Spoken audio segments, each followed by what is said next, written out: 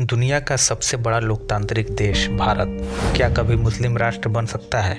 समय समय पर हिंदुओं को डराते हुए ऐसी अफवाहें सोशल मीडिया पर खूब शेयर की जाती हैं कि 2050 तक भारत में मुस्लिम आबादी इतनी हो जाएगी कि वो हिंदुओं को पीछे छोड़ देंगे और भारत को मुस्लिम राष्ट्र बनाकर तुम पर राज करेंगे।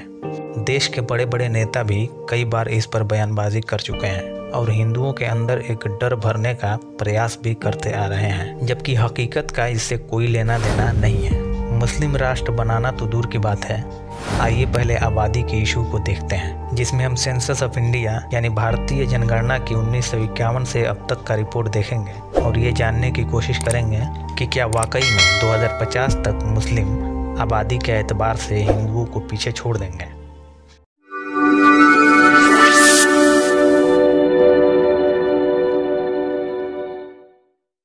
उन्नीस सौ इक्यावन में जब पहली बार भारत में जनगणना हुई थी, तब भारत की कुल आबादी 36 करोड़ 10 लाख थी, जिसमें 30 करोड़ 35 लाख हिंदू आबादी थी और 3 करोड़ चौवन लाख मुस्लिम आबादी थी। परसेंटेज अगर देखें तो चौरासी दशमलव एक प्रतिशत हिंदू आबादी थी और नौ दशमलव आठ प्रतिशत मुस्लिम आबादी। फिर उन्नीस सौ इकसठ की जनगणना में टोटल पॉपुलेशन हुआ तैंतालीस करोड़ बानवे लाख, जिसमें 36 करोड़ पैंसठ लाख हिंदू और चार करोड़ उनहत्तर लाख मुस्लिम। इसमें पॉपुलेशन ग्रोथ अगर देखें तो छः करोड़ तीस लाख हिंदुओं का ग्रोथ हुआ और एक करोड़ पंद्रह लाख मुस्लिमों का ग्रोथ हुआ। ऐसे ही उन्नीस सौ इकहत्तर में आठ करोड़ अड़सठ लाख हिंदू बढ़े और एक करोड़ पैंतालीस लाख मुस्लिम बढ़े। फिर उन्नीस सौ इक्यासी का आंकड़ा देखिए और उन्नीस सौ इक्यानवे और 2011 का आंकड़ा भी देखिए। इन आंकड़ों को ध्यान से देखिए। इससे आप समझ पाएँगे कि हिंदुओं के पॉपुलेशन ग्रोथ में और मुस्लिमों के पॉपुलेशन ग्रोथ में कितने का फ़र्क है। कहाँ तेरह करोड़ सतासी लाख की बढ़त और कहाँ तीन करोड़ चालीस लाख की बढ़त। अब अगर प्रतिशत के नज़रिए से देखें तो उन्नीस सौ इक्यावन में हिंदू पॉपुलेशन चौरासी दशमलव एक प्रतिशत थी, जो 2011 में घटकर उन्यासी दशमलव आठ प्रतिशत हो गई। जबकि मुस्लिम पॉपुलेशन उन्नीस सौ इक्यावन में नौ दशमलव आठ प्रतिशत थी, जो 2011 में चौदह दशमलव दो तीन प्रतिशत हो गई। ये परसेंटेज के बढ़ने और घटने का क्या लॉजिक है, इन फिगर्स को याद रखिएगा। इस पर हम बाद में बात करते हैं। पहले हम according to Muslim percentage growth ये देखते हैं कि इस हिसाब से मुस्लिमों को हिंदुओं के इक्वल होने में कितना समय लगेगा, जिससे ये क्लियर हो जाएगा कि कितना बड़ा झूठ फैलाया जा रहा है। आगे बात करते हैं। पहले आप इन फिगर्स को देखिए। इसमें उन्नीस सौ इकसठ से 2011 तक के हिंदू और मुस्लिम ग्रोथ रेट है।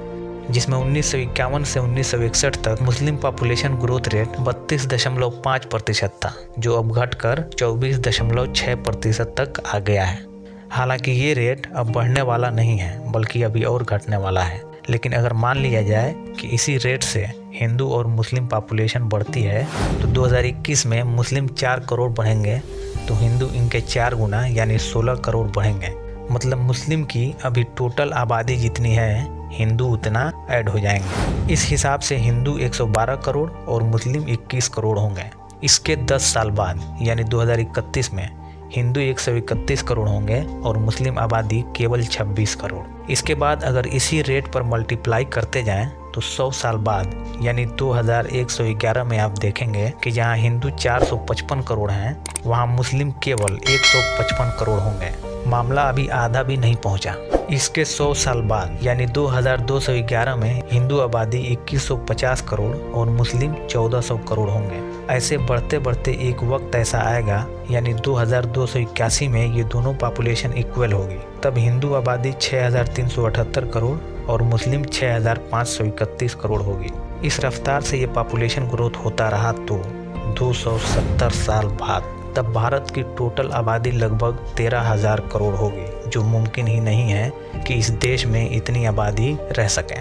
आप बस इतना जान लीजिए कि ये दुनिया का सबसे बड़ा भ्रम फैलाया गया है, बस हिंदुओं को उकसाने के लिए और उनका इस्तेमाल करने के लिए। अब 2050 तक की भ्रमता तो अपने दिमाग से निकाल ही दो, क्योंकि 2050 तक किसकी कितनी आबादी होगी, इस प्यू रिसर्च सेंटर की जारी की गई आंकड़ों में देख सकते हो।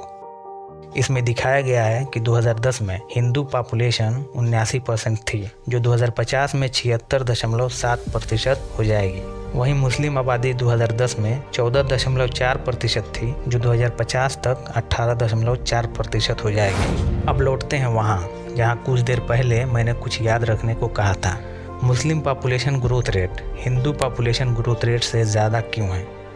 अलग अलग राजनीतिक नेता अलग अलग कारण बताते हैं। कुछ बताते हैं कि चूँकि मुस्लिम ज़्यादा बच्चे पैदा करते हैं, इसलिए इनका दर बढ़ जाता है। लगता है वो फ़िज़िकल दुनिया से हटकर इमेजिनरी दुनिया में जीते हैं। शायद वो नहीं देख पाते हैं कि एक मुस्लिम जितने बच्चे पैदा करता है, लगभग उतने ही एक हिंदू भी पैदा करता है। कुछ कहते हैं कि ये दर धर्म परिवर्तन के कारण बढ़ता है, जबकि ये भी हकीकत नहीं है, बल्कि इसका असल कारण है डेथ रेट, यानी मरने की संख्या का दर। मुस्लिमों के कंपेयर में हिंदुओं का डेथ रेट ज़्यादा है। खैर, ये एक फैक्ट इन्फॉर्मेशन थी तो मैंने सोचा अपने व्यूवर्स को डिलीवर किया जाए। आज के लिए बस इतना ही। ये इन्फॉर्मेशन अगर अच्छा लगा हो तो लाइक करें और दूसरों तक भी पहुंचाएँ। और हमसे जुड़ने के लिए सब्सक्राइब के साथ बेल आइकन ज़रूर दबाएँ। धन्यवाद।